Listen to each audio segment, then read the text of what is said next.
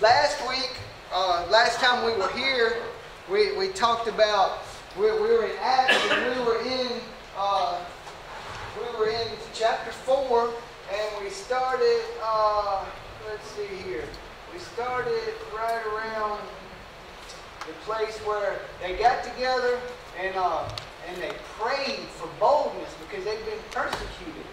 And he said, and, and now the, the Lord, we want you to behold all the threatening, threatening things they've been doing to us. And, and uh, so they prayed to God.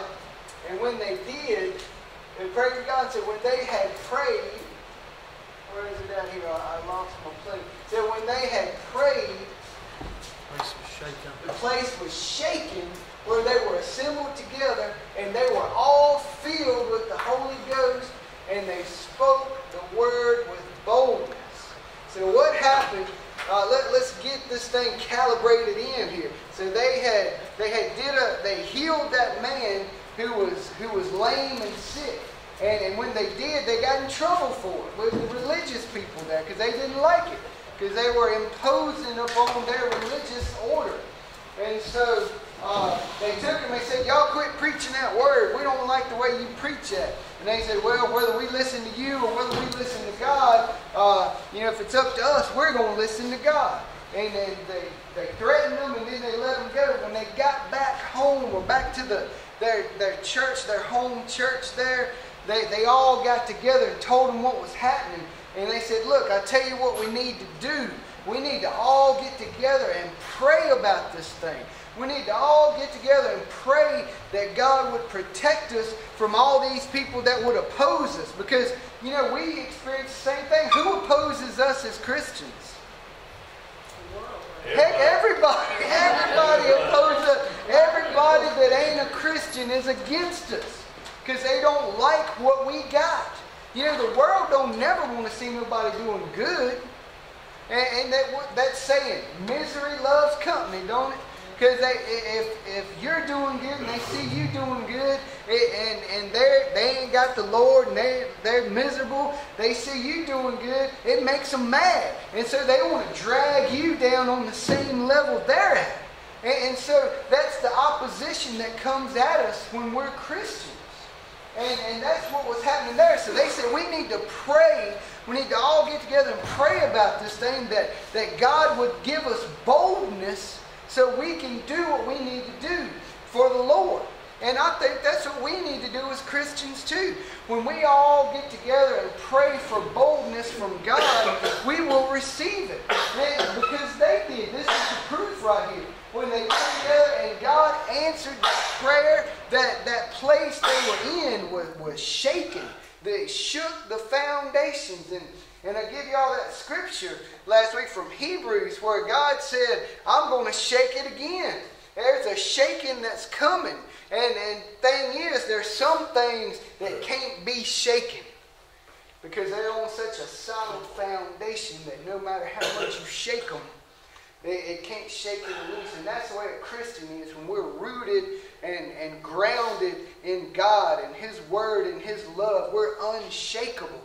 And, and there's coming a shaking when, when this great tribulation comes. The, the, uh, God said, Not only am I going to shake the earth, but I'm going to shake the heavens also.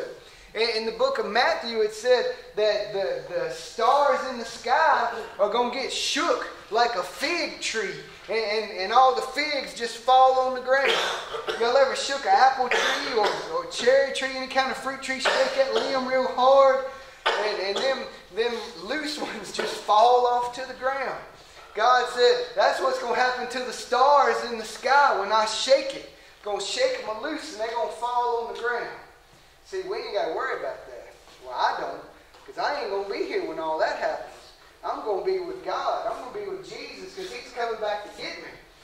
But in the meantime, we've got to stand against this opposition that's coming at us from the world. Now, they oppose us, like I said, because they, they ain't got what we got, and, and they're jealous. They're envious of us. They never tell us that. Because Lord knows they don't want you to know that they're envious of what you got. So what do they do? They try to drag you down to their level. the apostles prayed and it said that the place was shaken and then they all got filled with the Holy Ghost. I, I like seeing people's faces on Sunday morning when I preach about getting filled with the Holy Ghost. Because it, it's sad in a way because it's, it's very apparent, it's very obvious. A lot of people ain't got no idea what I'm talking about when I say be filled with the Holy Ghost. They ain't never experienced it. What do you think? Well, yeah, that's true. Um, we've been talking about your heart. God knows your heart, and you got to keep your heart pure. But the reason they saw these things happen is they were in one accord. Yeah, They were yeah, we're going to talk about Because. I hear people say, well, that don't happen. Well, we've got to get an agreement. Yeah, that's right. Amen. Yeah, and that's exactly what we're going to talk about. So they come together and they prayed, and when they did, God answered their prayer. And and we pray, and a lot of times God answers our prayer, but it ain't what we thought it would be. And and I don't know what they were thinking about when they prayed to God. I don't know if they thought they were going to get something different, but what they got was boldness.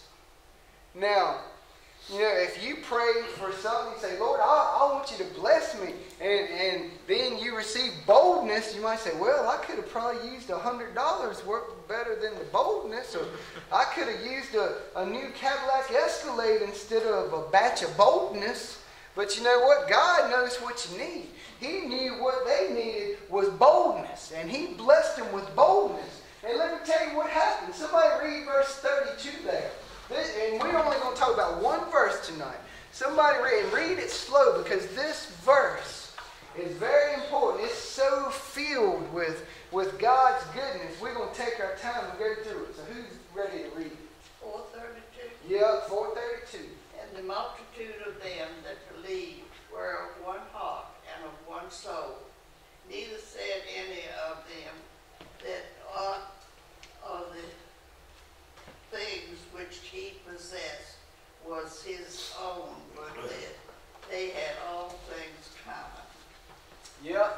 So what is that saying? It says that they gathered around and, and all of them that believed had the same heart. How what? But in Greek, that's what it said. It, it says in Greek that they had that all of them that believed they gathered together and they had one heart and one soul among all of them people. Wow. How can we all share one heart? Because you know what? If we're Christians today and we believe the Bible and we're saved and born again, then we all share one heart.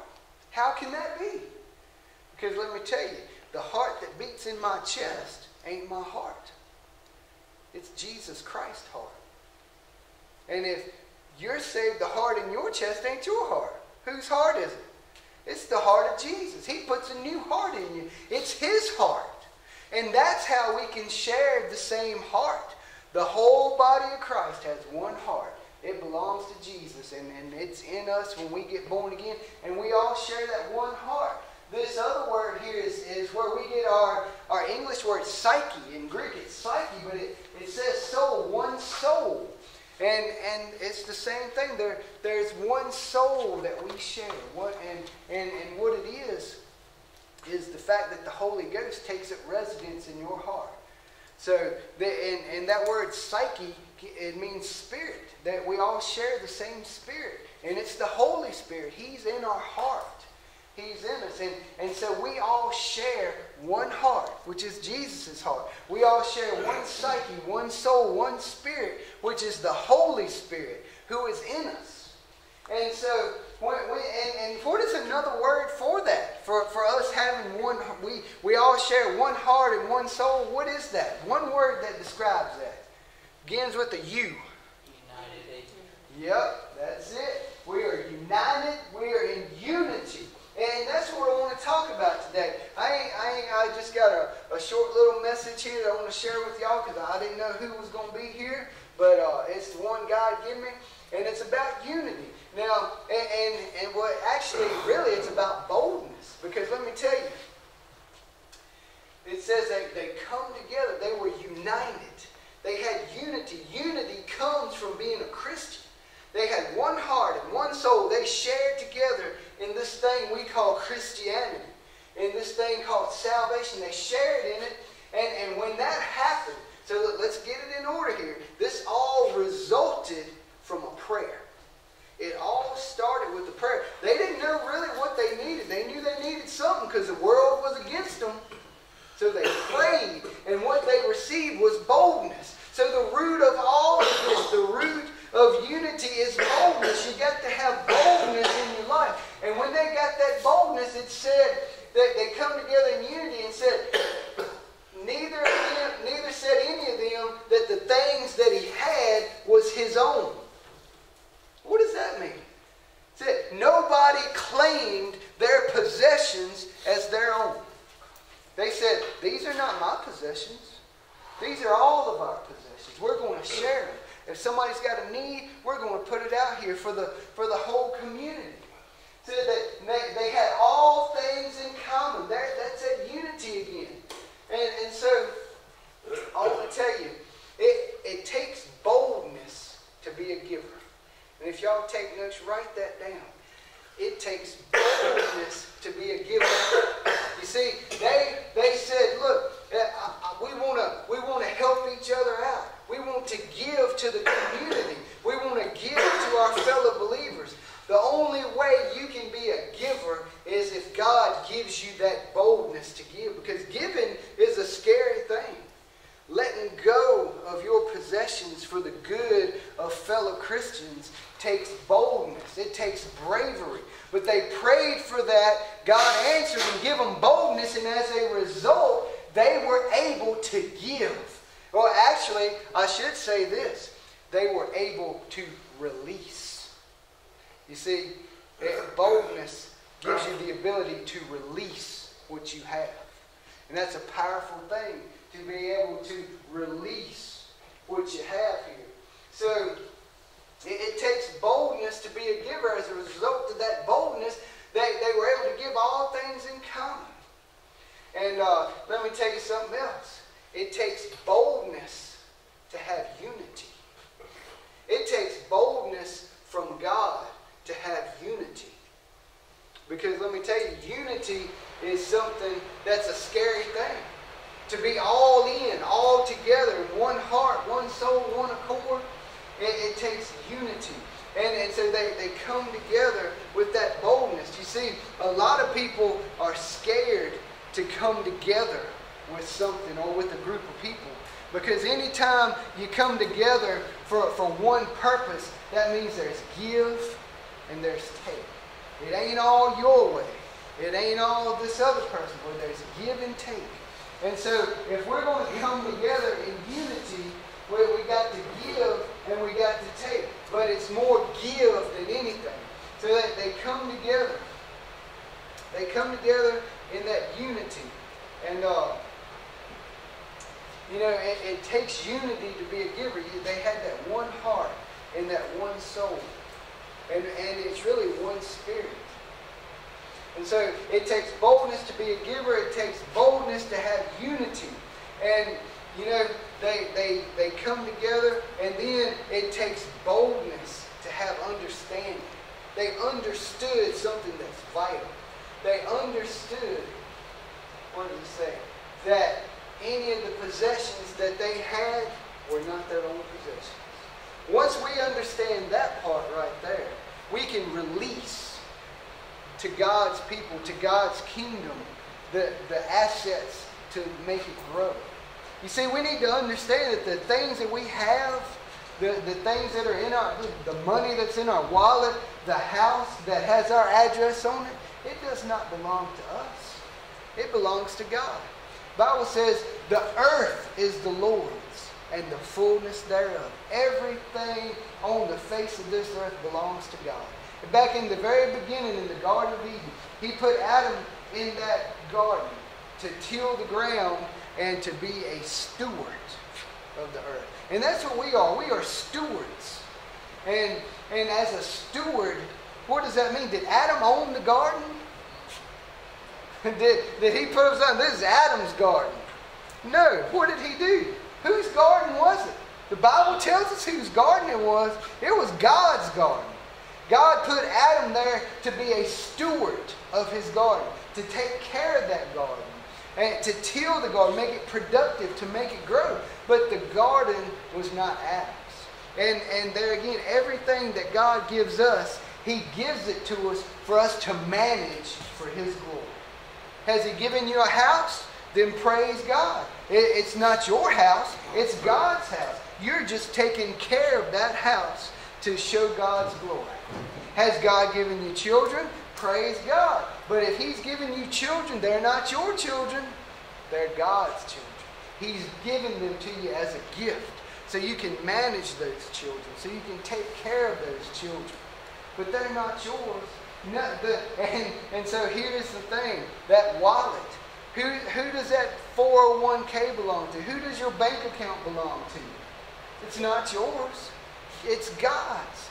God provided you with that money so you could take care of it. But if you got boldness, then you can also release that money. You can release it to take care of your fellow Christians. And that's what God calls us to do. We can't do any of that without boldness. And, and you know, a lot of people say, well, what is boldness? Boldness is a lack of fear. And only God can take away fear. You know, the enemy is the one who, that's his, one of his main weapons. The enemy's main weapon, or at least one of them, is fear. He puts fear in our hearts. He says, number one, you can't come together and be part of something that's bigger than you. Because that's what God wants. He wants us to come together and be part of something that is so much bigger than us. But the enemy whispers in our ear, they don't want you. You're, you don't fit in with that group. They're, that's not the right place for you. And it's a lie. Because God wants us here. It takes boldness, like Jack and Diane did, to walk up that aisle, like, like Lee and Anna did. It takes boldness to go up that aisle and say, hey, I'm one of God's children, and I want to be part of something bigger than me. And that's what we're here for, is to be part of something bigger than us. But the devil, that's the last thing he wants you to do. And he wants to instill fear in your hearts. He wants to say, hey, you can't be a giver you ain't got nothing to give. And see, that's the number one thing right there. He wants you to think that you have nothing of value in your life.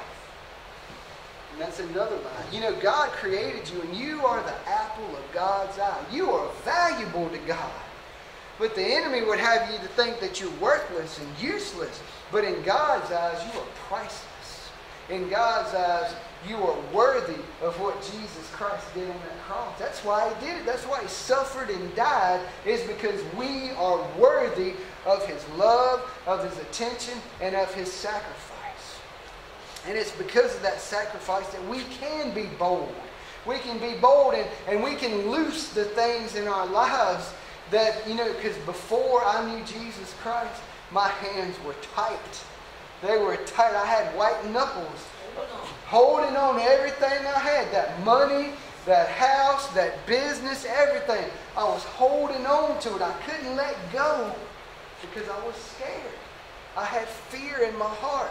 I, I certainly wouldn't give to the church because I was scared that I wouldn't, I, I, would give and then my lights would get turned off and, and, and I wouldn't have any money.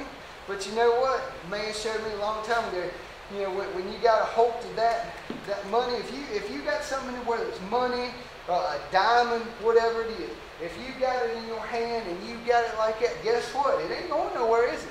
It's going to stay there unless somebody pries your hand open. Nothing else That's right. And then you got both of them white knuckled around everything you got, and that's fine. You'll keep what you got.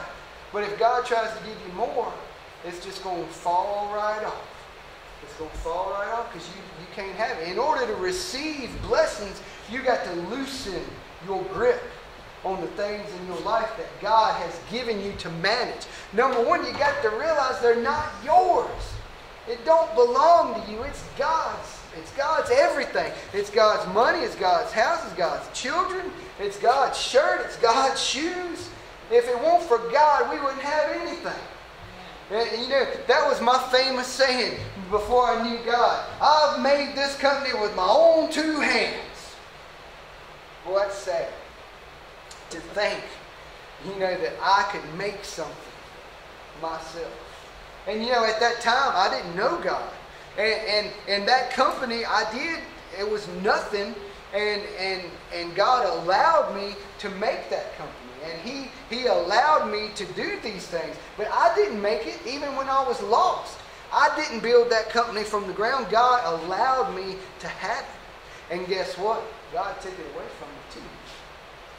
He took it away from me because my hands were held so tight on that thing. And, and my mind was full of fear. And, and so God had to do a mighty work in me so I would, I would have a little boldness in my life to let go. And you know, you can either you can either voluntarily let go so God can bless you, or God loves you enough where He'll take it all away. Where you ain't got nothing to hold on to, so your hands will be open. And that's what He did to me. He took away everything I had, so I didn't have nothing left to hold on to except for Him. That's the best thing ever happened to me in my life. Oh, it was painful. Would I want to do it again? Hadn't known. But praise God that He loved me enough to take away the stuff that I wouldn't let go of. He'll do the same thing for you. If you got something you're holding on to and you won't let go of it, either either you can let go voluntarily, or if He he will just take everything so you don't have nothing to hold on to so he, he can open up your hands to receive what he has for you. What I found out is what I was holding on to didn't mean nothing compared to what I received when I opened up my hands to receive what he has for me.